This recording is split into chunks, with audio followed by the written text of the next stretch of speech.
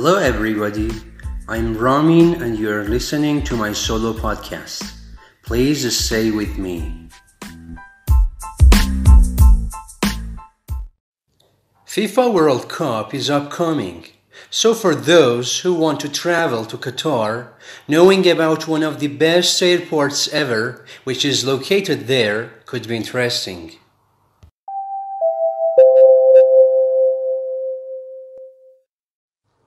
The standard advice says it's best to get to the airport two hours ahead of departure time.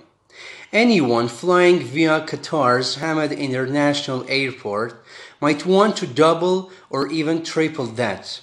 Not because there is any extra hassle getting through security at this gleaming ultra modern facility.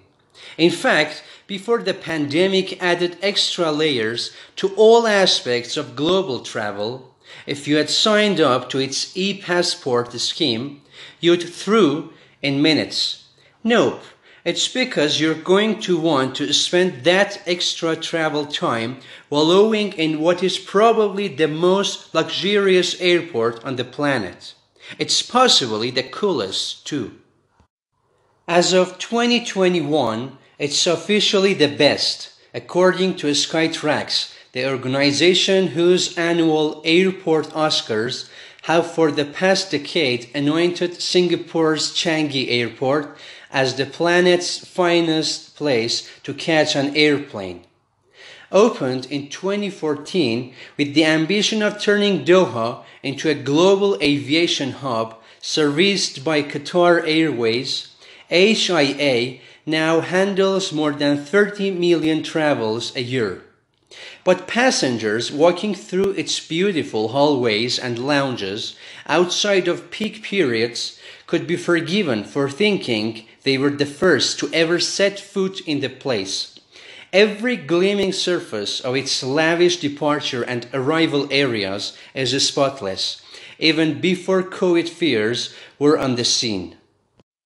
The destination is completely quiet too.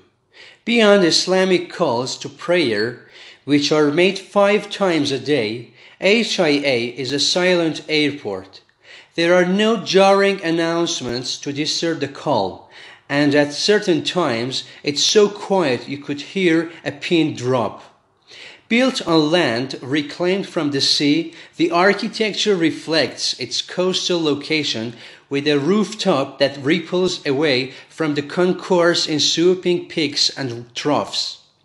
An adjacent mosque resembles a giant blue droplet of water. Inside, departing passengers walk into a lofty check-in hall, illuminated in daytime by bright sunlight shafting down from scores of lozenge-shaped skylights. At HIA, no one's going to forget this airport's art in a hurry.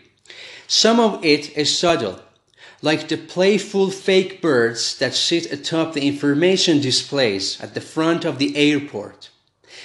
Also, a giant surreal yellow teddy bear sits under a black lamp. It's such an arresting sight in the main departure hall that attracts a near constant knot of people grabbing selfie shots. In summary, there are pieces of work that some fanatics might actually travel here to see. An airport on the edge of Arabia seems a surprising place to find groundbreaking pieces of modern art. HIA hopes this element of surprise will help set it apart from rival air hubs. Not posh enough? Okay, so listen to the rest.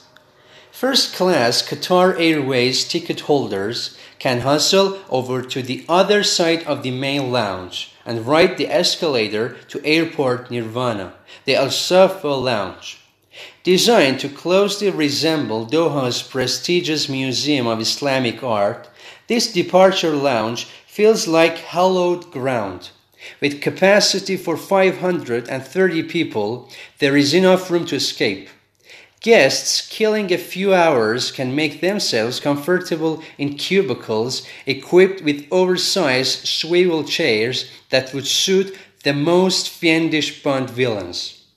They can dine in a style with a four course menu accompanied by fine wines. If they want to catch a movie, there is a private cinema. If they want to sleep, there are private bedrooms that can be booked for four hour slots. The airport's chief operating officer says about this airport as the official airport partner for the FIFA World Cup Qatar 2022, HIA is ready to create memorable experiences for football fans across the globe and ensure seamless connectivity through the airport.